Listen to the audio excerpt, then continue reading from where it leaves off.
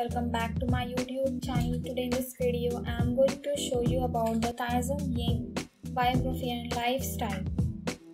Full name Tai Tzu ying, born on 20 June 1994 and age is 27 years old.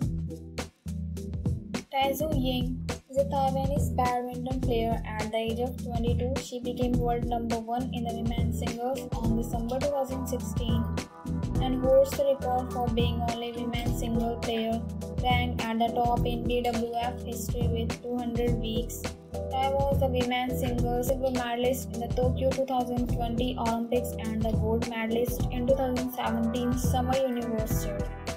And at the 2018 Asian Games, she has won the year-end tournament BWF Super Series or World Tour Finals three times and the All England Open thrice as of 2020. Back-to-back Asian Championships titles. Tai's career began she was in elementary school influenced by her father who was a firefighter and director of Fortune City's badminton committee Tai started playing badminton at the at the fourth or fifth grade in elementary school, and at the sixth grade she played at the national ranking tournaments. Who won the title in the second division, earning the right to participate in the first division games.